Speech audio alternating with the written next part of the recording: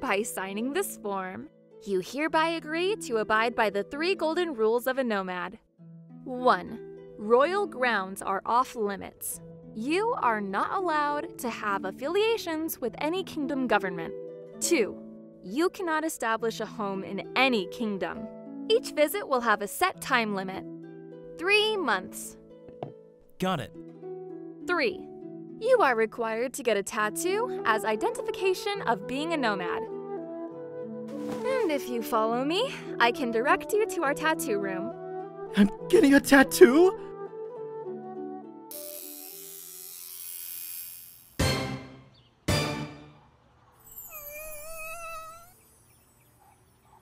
It's so bright!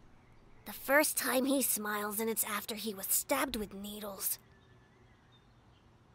Sorry, I, I've just always wanted a tattoo. And piercings. Well, I'm glad you're happy.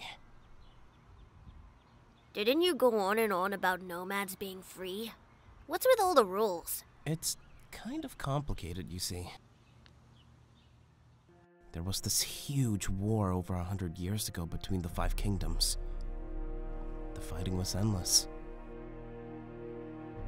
It only ceased when the kingdoms isolated themselves from each other. And thus, traveling became forbidden.